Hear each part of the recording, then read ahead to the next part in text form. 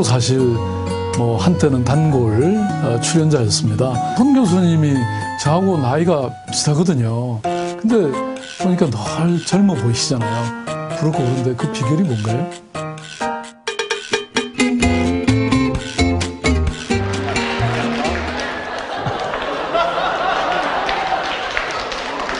아, 그게 아마 마지막, 마지막 질문이셨던 것 같은데, 한 가지 더 말씀드리자면 여기 노회찬 대표도 저랑 동갑이십니다.